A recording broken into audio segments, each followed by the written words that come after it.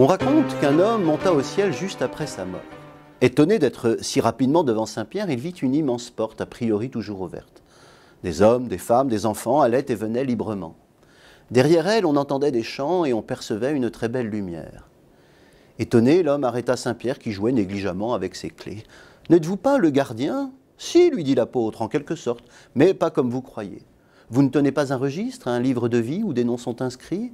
Oh non, lui dit Saint-Pierre, ici pas de déterminisme, pas de destin, ni de fatalité. Vous êtes libre d'y rentrer, c'est vous qui choisissez.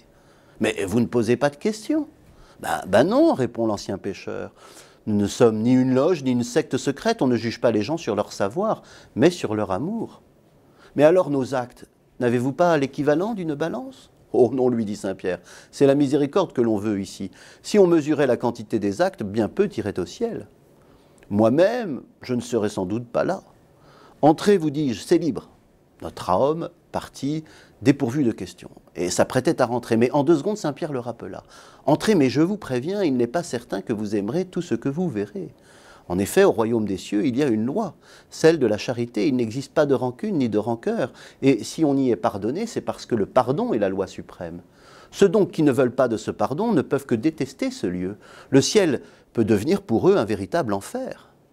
Si donc tu veux être fils de Dieu, pour être heureux en paradis, il te faudra pardonner.